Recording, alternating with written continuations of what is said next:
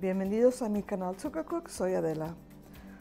Hoy no voy a cocinar ni a hornear, solamente os quería enseñar lo que hago con la pulpa de los vegetales cuando hago, por ejemplo, salsa y lo que hago con la pulpa, no la tiro, la pongo en el, que tengo aquí, este Ninja, y es una máquina perfecta, ni muy grande ni muy pequeña. Si os interesa os dejo un enlace en la descripción.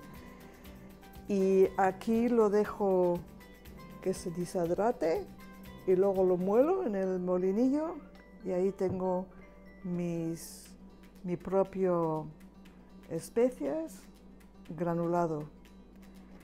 Lo que hago, en vez de dejarlo en la cocina, cuando se está deshidratando, lo dejo en la calle, afuera, y lo dejo que se deshidrate por seis horas o lo que tarde, y así la, casa no me huele a ajo o en este caso a, a pimientos, especias fuertes, y así tranquilita afuera se deshidrata y no me tengo que preocupar.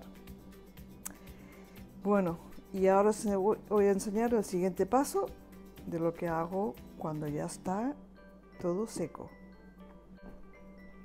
Aquí tengo todas las especias y ahora lo voy a moler hasta el grano um, consistente a mi gusto.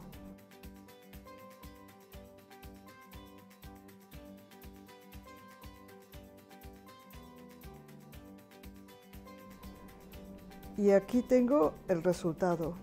Todo esto salió de la pulpa de los vegetales que use para hacer salsa picante. Y bueno, qué mejor receta que hacerlo en casa, sin preservativos ni aditivos, al natural y buenísimo. Lo puedes hacer con ajos, con cebollas, con con hierbas, con lo que uno quiera hacer. También se puede hacer con fruta, bueno, con un montón de cosas. Pues gracias por pasaros por mi canal y os veo en mi próximo video.